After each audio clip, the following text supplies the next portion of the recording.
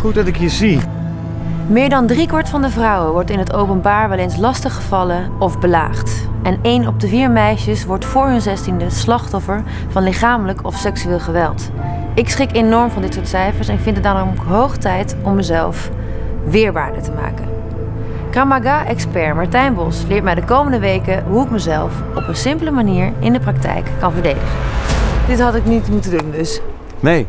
Als je, als je in, bij een verlaten eh, plaats gaat parkeren, Ja. wees dan alert erop dat je ergens parkeert waar je ruimte hebt. Wat je om je heen kunt kijken. Dus zo'n container is heel slecht. Dat is niet zo handig. Daarnaast, als je uitstapt, kijk even. Kijk even in je spiegel. Kijk even dat je uitstapt. Ik kon zo ja. naar je toe lopen. Ja, dat is waar. Ik zwaaide eerst nog. Niet waar. En nu ga ik je iets leren dat dit je niet meer overkomt, want ik ga een Kramaga techniek jou leren. Oké. Die heel effectief is als iemand je van achter zo vastpakt. Ja. Wat mensen doen die je meenemen, die doen vaak zo. Ze Mhm. willen dat je niks zegt. Mhm. Dat zeggen ze vaak ook. Hou je kop, ga meekomen. En ik heb je goed vast en ik kan je zo meetrekken. Ja. En je bent niet zo sterk in deze positie Nee. als je de Kramaga techniek niet kent. Oké. Ik ga hem je uitleggen. Als jij het even bij mij wil doen. Ja. Dus ik pak je vast. Eerst wil ik doe lostrekken. Dit is ook mijn schrikreactie. Ja. Dan ga ik onder je oksel door. En dan hier vol in je kruisknieën.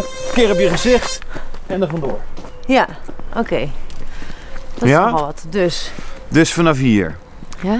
Ik heb je vast. Trek die hand los. Ja. Draai naar me toe. Knietje.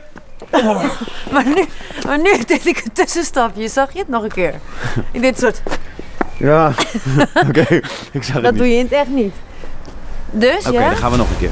Ik pak je zo vast. Ja. Trek die hand los. Draai om mijn oksel door en knieën. Oh. Juist. En reizen. Ik neem je auto wel mee. Hé hey, Martijn, misschien de volgende keer iets minder heftig. Ik sla gewoon niet meer, denk ik.